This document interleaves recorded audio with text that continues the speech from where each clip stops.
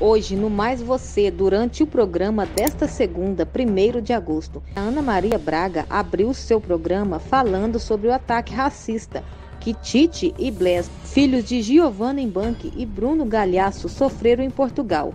Mas a produção do Mais Você cometeu um erro gravíssimo. É que no lugar de Giovanna e Bruno Galhaço, alguém da produção colocou vídeos de macacos. Mano, é, dá uma olhada.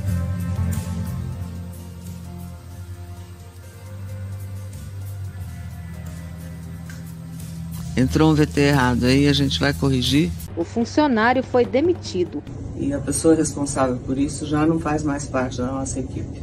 Pedir desculpas pelo ocorrido hoje no nosso programa, enquanto falávamos do incidente horrível que aconteceu com as crianças da Giovana e do Bruno lá em Portugal. Enquanto eu chamei a fala da, da Giovana, apareceu uma imagem é, horrível que não deveria ter acontecido. Deixe o seu like e se inscreva para mais.